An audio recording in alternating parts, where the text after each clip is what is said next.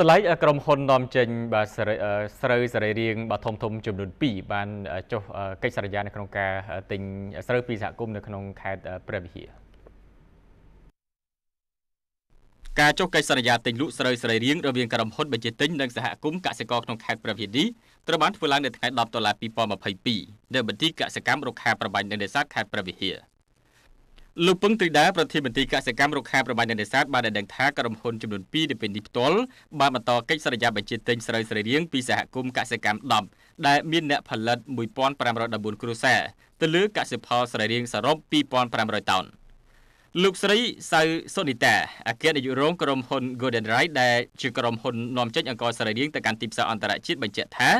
នេះគឺជាឆ្នាំទី4ហើយដែលក្រុមហ៊ុនបានចាប់ដៃគូសហការជាមួយកសិករនៅក្នុងខេត្តព្រះវិហារ នៅក្នុងការបញ្ជាទិញស្រូវសរីរាង្គសម្រាប់ការច្នៃនាំចេញទៅកាន់ទីផ្សារអន្តរជាតិដែលក្នុងនោះមានទាំងទីផ្សារក្នុងប្រទេសអាស៊ីអឺរ៉ុបនិងអាមេរិកជាដើម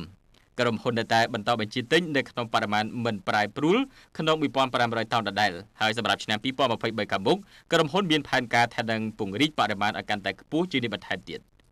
អាយដាមគឹមរិទ្ធីអភិបាលខេត្តព្រះវិហារបានវិតម្លៃខ្ពស់ចំពោះការខិតខំប្រឹងប្រែងសហការគ្នាបានយ៉ាងល្អពីគ្រប់ភាគីពាក់ព័ន្ធដោយមានការសម្របសម្រួលពីមន្ទីរកសិកម្ម